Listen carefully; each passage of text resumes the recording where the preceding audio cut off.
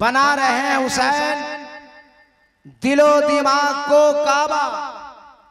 बना रहे हैं हुसैन। जनाबे हुरका मुकद्दर।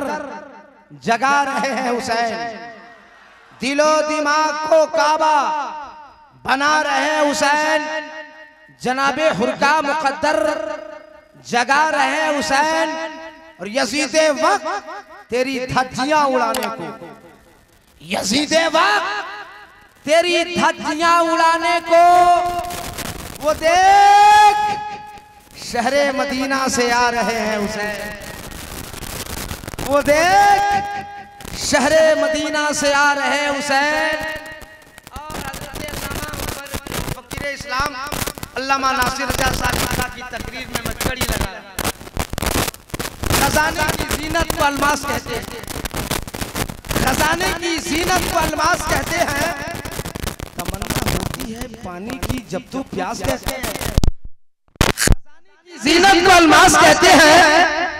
तमन्ना होती है पानी की जब तो प्यास कहते हैं। पानी उसे सब कहते हैं, दरिया। अरे जो दरिया को पिलाता है, उसे अब्बास कहते हैं। जो दरिया को पिलाता है, उसे अब्बास कहते हैं। अल्लाह का बेपना शुक्र एहसान है कि अल्लाह ताला ने हम सबों को आज की रात तक ज़िंदा रखा और अल्लाह का एहसान कि हमें अल्लाह के महबूब के नवासे इमाम हुसैन रदी अल्लाह ताला अनहो के ज़िक्र शहादत करने के बयान करने के लायक रखा और आप सबों को सुनने के लायक रखा और आज तक और अभी तक हम लोग बैठे हैं। अल्लाह की बारगाह में दुआ करते हैं। परवरदिगार आलम हम सबों की हाजिरी को कबूल फरमा ले। ए अल्लाह पूरी रात हमारी जमात के जिन लोगों ने जो जिस तरीके से पेश किया है और पासकूड़ा के ये ज़िंदा दिल मुसलमान जिन लोगों ने सुना है जिस मकसद से सुना है ए अल्लाह इनके मकसद को मकसद में कामयाब अता फरमा दे। आयत करीमा जो मैंने तिलावत करने का शरफ हासिल किया क्यों हो गई? अल्लाह ताला फरमाता है वह फतह नाहू अजीम। ये अजीम फिदिया जो अल्लाह का करम से कुरान पाक की आयत करीमा के तर्जमा और शान नजूर जो अल्लामा फकर इस्लाम ने बयान फरमाया कि एक मेना की वादी में बचाया अल्लाह ने और उसकी तकमील करबोबला के मैदान में इमाम हुसैन रज़ी अल्लाह ताला ने पेश फरमाया इमाम हुसैन आम आदमी का नाम नहीं है इमाम हुसैन आम शख्स का नाम नहीं है इमाम हुसैन का नाम लेना ही इबादत है। बुजुर्गान दीन ने लिखा अपनी किताबों में, इमाम हुसैन का नाम लेना इबादत है। इमाम हुसैन उनका नाम है जो पंचवक्ता नमाज़ पढ़ने के अलावा रोज़ाना 24 घंटे के अंदर तीन हज़ार नफल रक्तों को अदा फरमाया करते थे। इमाम हुसैन उनका नाम है। आज हम लोग मोबाइल के दौर में जी रहे हैं। फ़ौरन वीडियो आता है। एक आदमी केरला से शेहाब नाम का हज के लिए पैदल गया। व्हाट्सएप पे वीडियो फेसबुक पे वीडियो यूट्यूब पे वीडियो। लेकिन पासकुड़ा में जीने वालों मुसलमानों एक बार पहली बार हिंदुस्तान से हमारे रब के जानकारी के मुताबिक पैदल हज को गया। तो पूरी दुनिया में न्यूज़ चला गया। पूरा हिंदुस्तान कह रहा है, अरे कुर्बान जाओ हुसैन जाओ आका हुसैन, एक बार नहीं, पच्चीस बार पैदल हज फरमाया। पच्चीस बार इमाम हुसैन ने पैदल हज फरमाया। और सुनिए, हम आप जिस मुल्क में जी रहे हैं, उस मुल्क में सबसे पहला नबी हम सबका बाप हज़रत आदम सलाम पैदा हुआ जी, कोई नया लड़का पढ़ने वाला कहेगा, ए, मौलाना कादरी, वो तो श्रीलंका में है, वो तो श्रीलंका में पैदा हुए, हिंदुस्तान से उस वक्त श्रीलंका अलग नहीं हुआ था, श्रीलंका भारत था, कितना खुश नसीब हम है कि अल्लाह का पहला नबी पहला आदमी पहला इंसान पहला मनुष्य। अल्लाह ने जिसको दुनिया में बनाकर भेजा वो हमारा बाप आदम पहला नबी इंडिया में पैदा हुआ। चीज़ और बता दें आप लोगों को सबसे पहला आज कौन किया? मालूम है आप लोग को? नहीं मालूम है। सबसे पहला हज हम लोगों के बाप पहले नबी हज़रत आदम सलाम। वो भी कैसे? साइकिल से मोटरसाइकिल से गाड़ी से जहाज़ चलाए? न साइकिल थी न मोटरसाइकिल न जहाज़ न गाड़ी न ट्रेन कुछ नहीं। पैदल आदम सलाम ने पहला हज फरमाया पैदल और इमाम हुसैन रजील्ला ताला उन्होंने पूरी ज़िंदगी में 25 पैदल हज फरमाया। इमाम हुसैन का नाना दुनिया तमाम दुनिया में सारे नानों से सबसे और वो उसका न- जो नाना है हुसैन का वो सिर्फ़ इमाम नहीं है। इमाम नबियों का इमाम है। इमामुल अंबिया है। बाप शेर खुदा हैदर कर्रार फातेह खैबर माँ हज़रत बीबी फातिमा। नाना भी लाजवाब बाबा भी लाजवाब माँ भी लाजवाब। और माँ तो इतनी फजीलत वाली। इतने कमाल वाली कि नबी खुद फरमाते हदीस पाक में, अल फातिमा तो मिन्नी, फातिमा मेरा टुकड़ा है। क्या मतलब? है दुनिया वालों, फातिमा मेरा टुकड़ा है। मैं नबी हूँ, वो नबूवत का टुकड़ा है। मैं रसूल हूँ, वो रिसालत का टुकड़ा है। मैं ताहिर हूँ, वो तहारत का टुकड़ा है। मैं आलिम हूँ वो इल्म का टुकड़ा है और वो माँ किनकी है? इमाम हुसैन की। पैदा हुए तो गोद मिली फातिमा की। और जरा संभले तो कांधा मिला मौला अली का। और जब चलने लगे तो उंगली पकड़ने को मिली मुस्तफ़ा जाने रहमत आज मेरा नाती हो आपका हो मेरा नवासा हो आपका हो तो अपने घर में टहलाइएगा बरामदे में टहलाइएगा। मार्केट में टहलाइएगा। मगर कभी आपने हुसैन की ज़िंदगी पे गौर किया, उंगली पकड़ा है तो किसी दुनियादार का नहीं। मदीने के अहमद मुख्तार का और किसी पारमदे में नबी ने नहीं टहलाया। किसी आम ज़मीन पे रुए ज़मीन पे हुसैन को नहीं टहलाया बल्कि उंगली है मुस्तफ़ा की और जहाँ टहल रहे हुसैन वो जगह है मस्जिद नबवी की। नबी आला उंगली आला जगह आला हुसैन कितने हैं? और इमाम हुसैन रबी अल्लाह ताला हो इतने आला हैं इतने आला है। कि किसी मुत्तकी का जहन वहाँ नहीं जा सकता। किसी मुफक्किर का जहन वहाँ नहीं जा सकता। इमाम हुसैन रदी अल्लाह ताला हो शायद आपके मजमे में कोई गया हो ये आप लोगों की दुआ की बरकत है कि 2017 में मैं करबला गया था। और जो बख्शा जो नक्शा मैंने देखा तो हर सुन्नी मुसलमान के लिए दुआ करता हूँ कि अगर वो सुन्नी है तो उन्हें बगदाद जाना चाहिए। उसे करबला जाना चाहिए। जिस तरह करबोबला के मैदान में करबोबला की जंग जंग हो रही थी और आलम थामे हज़रत अब्बास अलम बरदार थे। बाजू कट दूसरे बाजू से संभाला, दूसरा बाजू कट गया आलम को संभाला। आज करबो बला जाने के बाद ऐसा महसूस होता है कि हुसैन की बारगाह में फातिया करने वाला उस वक्त तक नहीं पहुँच सकता है, जब तक बारगाह अब्बास में न चला। आज भी ऐसा लगता है, अल्लाह का करम देखिए। वो रास्ता ही ऐसा बना हुआ है कि पहले आपको मौला अब्बास की बारगाह में जाना होगा। और वहीं से फिर हज़रत इमाम हुसैन की बारगाह में जाना होगा। मैं आपको वाकया आज नहीं सुनाऊँगा जो नुक्ता छोड़ा है उन्होंने उस नुक्ते की मैं तकमील करूँगा। अल्लाह का करम देखो इस्लाम इतना शानदार धर्म देखो हम भी बाप वाले हैं आप भी बाप वाले हो। सारी दुनिया में सब लोगों को अल्लाह ने औलाद फरमाई है। मगर ए हुसैन तेरे सब्र को सलाम। ए हुसैन तेरी हिम्मत को सलाम। ए हुसैन तेरे इस्तिकामत को सलाम ए हुसैन तेरी इमामत को सलाम हज़रत इमाम असगर रदी अल्लाह अन्हो को करबला के मैदान में जब लेकर आए और यजीदियों से हुसैन हुसैन ने यजीदियों से कहा, ए यजीदियों, ये नन्हा मेरा बेटा अली असगर है। इससे तुम्हारी क्या जंग हो सकती है? पानी से तड़प रहा है, प्यास से तड़प रहा है। इसे दो कतरा पानी दे दो। इमाम हुसैन से सिमरे लहीन ने आवाज़ लगा के जवाब दिया था, ए हुसैन करबला के मैदान में बच्चे का सहारा लेकर आए हो गरजदार आवाज़ में इमाम पाक ने जवाब दिया हुसैन बच्चा का सहारा लेने नहीं आया है। अगर आज तुम मेरे बेटे अली असगर को दो कतरा पानी दे दोगे, कल मैदान मशर में नाना से हौजे कौसर तुम्हें पिलाऊँगा। अरे लाकर दिखाओ तो। अभी आवाज़ लगा रहे थे करबोबला के मैदान में, कि खलाओं को चीरते हुए फजाओं को चीरते हुए हर मन हुलमला का तीर आया। हुलकू में अली असगर में बेवस्त हो गया। खून का फव्वारा उठा। इमाम हुसैन ने दोनों हथेली को जमा कर दी और खून अली असगर को इकट्ठा किया।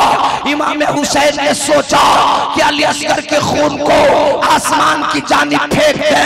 आसमान से आवाज़ आई, ना हुसैन, ना।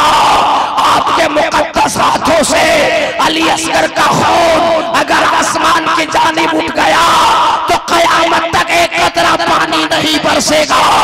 इमाम हुसैन रदी अल्लाह ने सोचा कि खून अली असगर को ज़मीन करबला पर डाल दिया जाए। ज़मीन थर्रा उठी। और आवाज़ बुलंद की हुसैन हुसैन, अपने मुकद्दस हाथों से अली असगर के खून को ज़मीन पर न डाले, वरना कयामत तक हरियाली नहीं उगेगी। हे पास कूड़ा वालों, आप बहुत अच्छा सुन रहे हो। बहुत ज़्यादा हंगामा करना, बहुत ज़्यादा चीखना चिल्लाना, उसे कामयाबी नहीं कहते हैं, कामयाबी उसे कहते हैं कि आदमी गौर से उसको सुने। अब मैं खिताबत का एक जुमला आपके हवाले करने जा रहा हूँ। इमाम हुसैन ने जब आसमान ने मना किया, ज़मीन ने मना किया तो इमाम हुसैन ने अली असगर के खून को अपने चेहरे पे मला और अल्लाह की जानिब चेहरा करके आवाज़ लगाई, खुदा, तू देख रहा है, तेरा आसमान खूने हुसैनी को लेने से इनकार कर रहा है। तेरी ज़मीन खूने हुसैनी को लेने से इनकार कर रही है। ए अल्लाह अली असगर के खून को मैंने अपने चेहरे पे मल लिया। कल मैदान महशर में दाबर महशर के सामने जब हुसैन को बुलाया जाएगा और अल्लाह जब तेरा सवाल होगा ए हुसैन खूनी चेहरा लेकर करबला के मैदान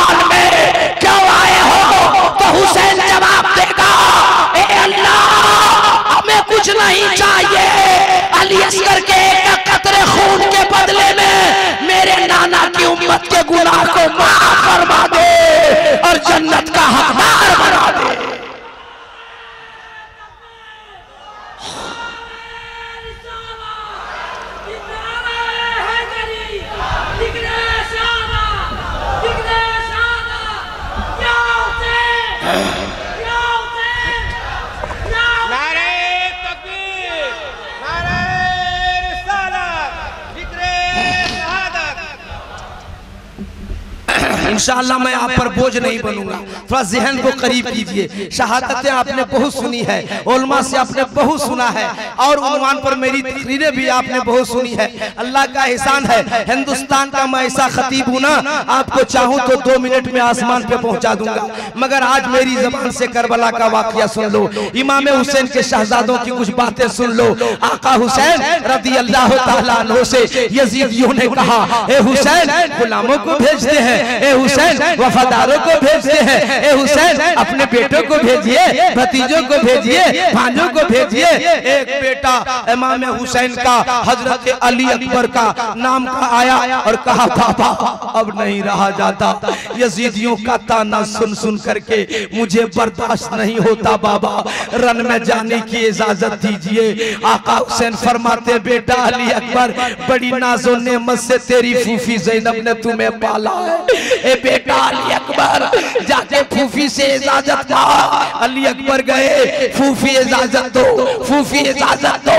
हज़रत जैनब का जवाब सुनिए, पास गुला वालो, जहन को करीब करके सुनो एक लफ्ज को। हज़रत जैनब ने जवाब दिया, ए बेटा अली अकबर, जाहिरी ज़िंदगी से जब से नाना पर फरमाए हैं, नाना की तबीयत होती है देखने की ना तो जी भर के जैनब तुम्हें देख लिया करती है। हज़रत अली अकबर थे ना, मुस्तफ़ा जाने रहमत के एकदम मुशाबे थे। उसी तरह देखने में लगते थे। हज़रत जैनब ने कहा, बेटा, तू ना जा।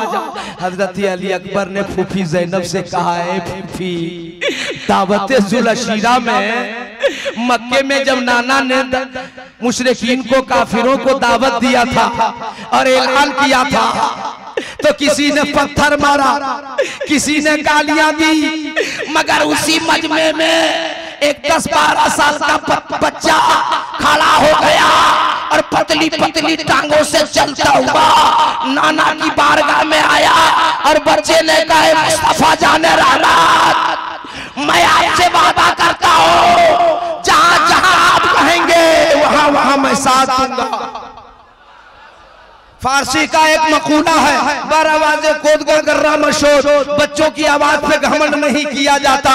नबी ने बच्चे से सवाल किया था दावत जुलशेरा में। ए बच्चा तुम्हें मालूम है मैं नबी हूँ। मैं अल्लाह का महबूब हूँ। मेरा सफ़र मक्के को छोड़कर मदीने तक जाता है। मैं हिजरत करूँगा। हिजरत की रात बिस्तरे नबूवत पर सोना पड़ेगा। क्या सोओगे? तो बच्चे ने वादा किया था कि सोऊँगा। ए बच्चे अगर मेरे दीन की की हिफाजत के लिए। तुम अपने बेटे को तुम्हें कुर्बान करने की ज़रूरत पड़ जाए। तो बेटों को कुर्बान करोगे। बच्चे ने कहा, या रसूल अल्लाह आपकी दीन की हिफाजत के लिए। मैं पूरे कुंबे को कुर्बान कर दूँगा। मगर आपके दीन पर आँच नहीं आने दूँगा। अली अकबर ने जैनब से कहा, फूफी, वो बच्चा कोई और नहीं था। नाना से जो बच्चा वादा दिया था थी मुस्तफ़ा की, और जो बच्चा था वो मेरा दादा मौला अली था वो मैं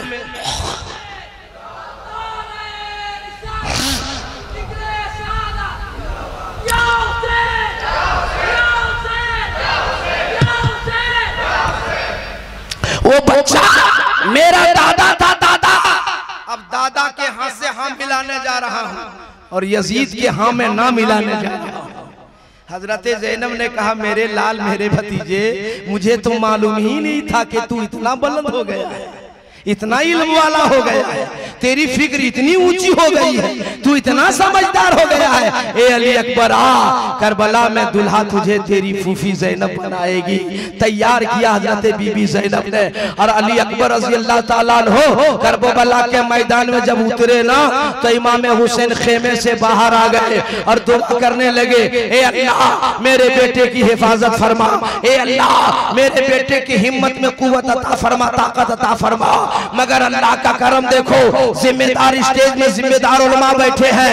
अरबी में एक मकूला कहा जाता है मुकदमतुल तारीख और जो लिखा है, उसमें ये बयान किया है कि अली अकबर जब करबला के मैदान में तलवार लेके दाखिल हुए, पश्चिम गए, पश्चिम साफ़, पूरब गए, पूरब साफ़, उत्तर गए, उत्तर साफ़, दक्षिण गए जियो इस तरह हुसैन का बेटा तलवार चला रहा है। सब मारे जाओगे, सब काटे जाओगे। यजीदियो शिमर ने कहा, हुरबला ने कहा अमर इब्ने साद ने कहा, एक बार की हमला करो तीरों की बारिश करो, तलवारों के यलगार करो। इमाम अली अकबर रज़ी अल्लाह ताला पर जब तीरों की बारिश हुई, तलवारों के यलगार हुए और जब निढाल होकर, खून से लथपथ होकर करबला के मैदान में जब गिर पड़े तो एक हुसैन, तेरे जवान बेटे की जवानी को पाश पाश कर दिया है। संभालो जवान बेटे को। इमाम हुसैन रज़ी अल्लाह ताला खेमे से बाहर निकले और दौड़े दौड़े तेज कदमों से गए और हज़रत अली अकबर को संभाला और लाया। इतने जवान थे, ताकतवर थे हज़रत अली अकबर के कांधे पे हज़रत इमाम हुसैन ने रखा है। दोनों पाँव करबला की ज़मीन पर घिसटते हुए जा रहा है। खेमे के करीब जाकर हुसैन बैठ गए। अपनी गोद में अली अकबर का सर रखा और अपने अपनी अंगुलियों के पोरों से इमाम हुसैन इमाम अली अकबर के सरों पे कंघी की मानी फिर रहे हैं। और फरमा रहे हैं बेटा अली अकबर मत घबरा बेटा मत घबरा। वो देख नाना हौजे कौसर पे इंतज़ार कर रहे हैं। मगर अली अकबर ने कहा बाबा बहुत प्यास लगी है बाबा। बहुत प्यास लगी है बाबा। अगर चंद कतरा पानी मिल जाता बाबा तो मैं यजीदियों को फिर मारता, यजीदियों को फिर काटता, यजीदियों को फिर दौड़ाता। आका हुसैन जवाब देते, मेरे लाल, ए मेरे बेटे, तुझे मालूम है ना, तीन दिनों से पानी बंद है, तीन दिनों से खाना बंद है, तीन दिनों से दाना बंद है। ए बेटा, अली अकबर, तेरा बाबा पानी कहाँ से लाएगा? लेकिन हुसैन ये भी फरमा रहे हैं ये बेटा अली अकबर, हुसैन का घराना, वो घराना है कि आज तक मांगने वाला कोई खाली वापिस नहीं लौटा। आज हुसैन से उसका बेटा कैसे लौटेगा?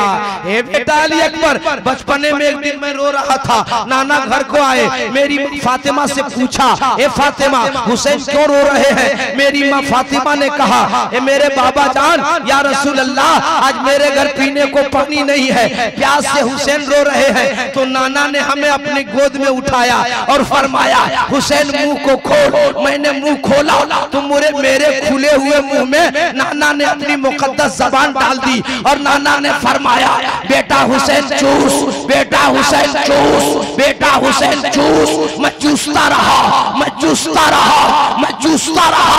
और नबी फरमाते रहे, मुस्तफ़ा फरमाते रहे, ए बेटा हुसैन, इतना चूस ले कि मदीने से मक्के था मक्के से मकामे पैसा था मकामे पैसा से करबो भला